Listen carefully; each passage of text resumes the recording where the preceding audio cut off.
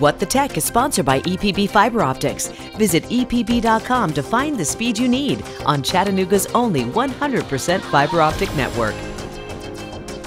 With the upcoming holidays, someone on your shopping list may want to upgrade their work from home office space. Our consumer technology reporter Jamie Tucker has a look at a few tech gifts you may want to pick up during Black Friday.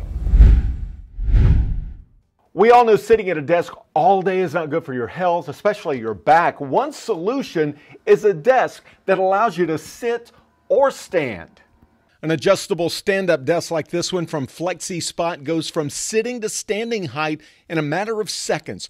The desks come in various sizes and colors. They're sturdy, all have USB charging ports built into the desktop. They might need a high quality web camera for video meetings. Logitech makes high quality cameras that are easy to use.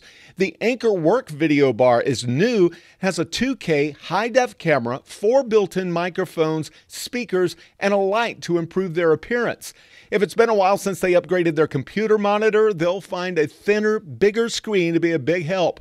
ViewSonic loaned me this 34 inch ultra wide curved monitor with built in blue light filters. It is stunning, has speakers, and can connect to multiple computers and laptops. Bluetooth noise canceling headphones eliminate distractions in the home office.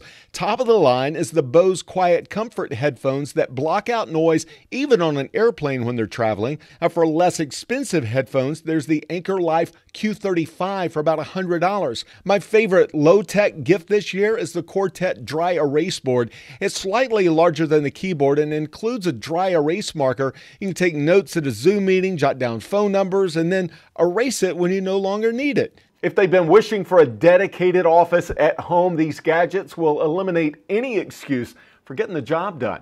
That's what the tech. I'm Jamie Tucker.